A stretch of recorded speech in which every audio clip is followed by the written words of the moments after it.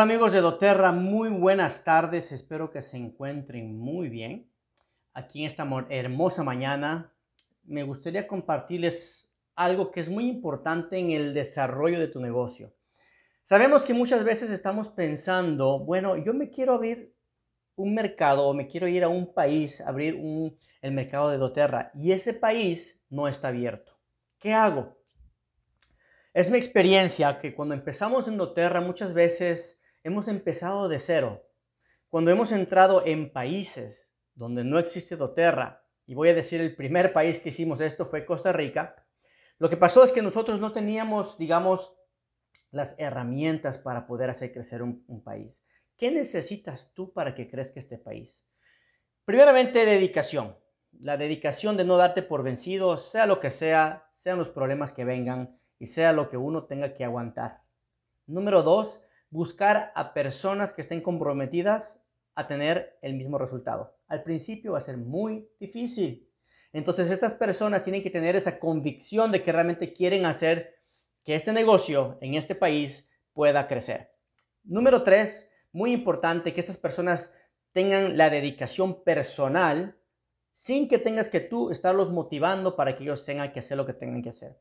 Así se crece en un negocio internacional encontrando personas que puedan captar la visión sin darse por vencido y hacer el trabajo arduamente para poder salir adelante en un mercado donde básicamente no hay nadie. ¿Cuáles son las ventajas de abrir un mercado internacional? Que tú puedes tener una, puedes llegar a tener una posición de ser un fundador en ese país. ¿Qué significa ser un fundador? Significa que tú vas a tener la habilidad de tener un porcentaje de las ventas de ese país. Normalmente es un por ciento de todo, digamos, yo lo comparo muchas veces con un pedazo de pastel. A ese pedazo de pastel lo cortamos en un pedacito, que es un por ciento, y en ese pedacito le damos de comer a 25 personas o 20 personas. Así funciona el club de fundadores. Tú puedes llegar a ser fundador de un país cuando ese país esté desarrollado completamente, cuando haya crecido y la gente haya desarrollado no solamente de tu organización, sino de otras organizaciones un negocio grande, tú te puedes beneficiar. ¿Qué más? Con respecto, digamos, a los manejos y envíos de los productos a ese país. Al principio, corre y va de tu cuenta. Tú tienes que hacer todo el proceso para que esos productos puedan llegar de la bodega de doTERRA a la locación donde tú quieres que lleguen.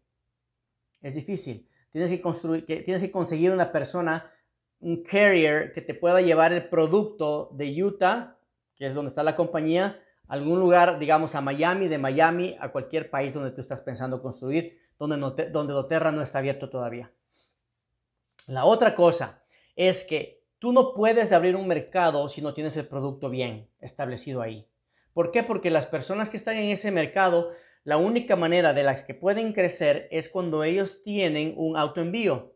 Y si tú vas y alborotas a las personas, como se dice vulgarmente, alborotas a las gallinas y no pasa nada, las personas no van a poder recibir su orden mensual, no van a poder calificar y van a decir que la compañía los está estafando porque no están recibiendo comisión y su producto no está llegando. Entonces se dan cuenta del proceso que puede ser un poco difícil, pero estoy aquí para decirte que todo lo que tú quieras y donde tú quieras entrar es posible. Nada más tienes que lograr esa visión que tú tienes, compartirla con las personas donde estás compartiendo el producto. Si esas personas quieren crecer con esta compañía y ven que esto es lo que les apasiona, no vas a tener ningún problema porque tienes personas dedicadas que van a querer tener doTERRA en ese país. ¿Ok? No te vayas sin producto. No te vayas solamente a promover algo que no puedes cumplir después porque ahí es donde la gente buena se nos va. Y nos ha pasado y me ha pasado muchas veces a mí que he compartido con alguien que es súper bueno y le dije y le prometí que íbamos a llegar, que íbamos a entrar, pero esas personas no estaban listas para esperar. No es que yo les dije algo negativo, no, sino que no estaban listas para esperar los beneficios que luego llegarían cuando se abren esos países. Así que amigos, hagan lo que tengan que hacer, expándanse por todo el mundo, compartan lo que es la pasión, la visión y los beneficios de los aceites esenciales de doTERRA.